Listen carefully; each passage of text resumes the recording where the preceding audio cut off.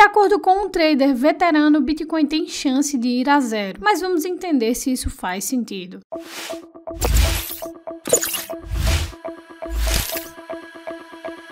Fala pessoal, meu nome é Ilana, sejam bem-vindos ao canal Dinheiro Cripto, seu canal favorito sobre o mercado financeiro. O primeiro link estará na descrição desse vídeo é o da Binance, essa aqui é a maior corretora de criptomoedas do mundo.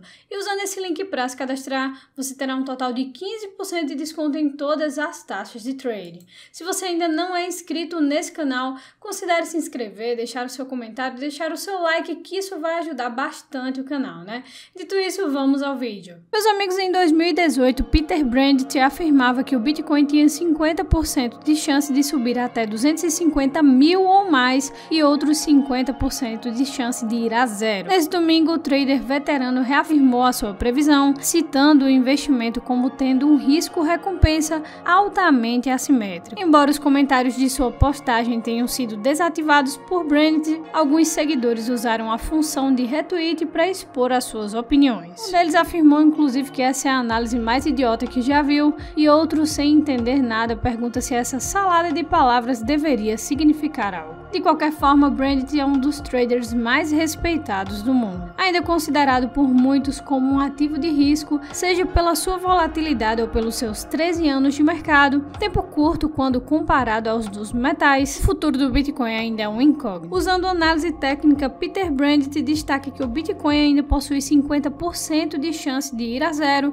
e segundo trader que opera futuros desde 1975, de qualquer forma o risco-retorno desse investimento é assimétrico ou seja, está longe de ser 50-50. No passado, Brandt declarou que o Bitcoin era uma proteção contra todos os investimentos denominados em dólares e apontou ser uma de suas maiores posições. Entretanto, o mercado parece ter mudado desde então, com o Bitcoin acompanhando de perto o preço de ações, principalmente do setor de tecnologia. Mesmo que o trader veterano tenha assumido que o Bitcoin possa multiplicar o seu valor em mais 10 vezes, alguns de seus seguidores não concordaram com a sua análise. Segundo alguns, o Bitcoin mudou muito nos últimos quatro anos, principalmente pelo aumento de volume e a entrada de novos players de peso. Portanto, esses acreditam que o Bitcoin está muito longe de ter 50% de chance de ir para zero. Ou seja, cada dia que passa, essa probabilidade diminui consideravelmente. E por fim, isso jamais acontecerá se depender de alguns investidores como Chapin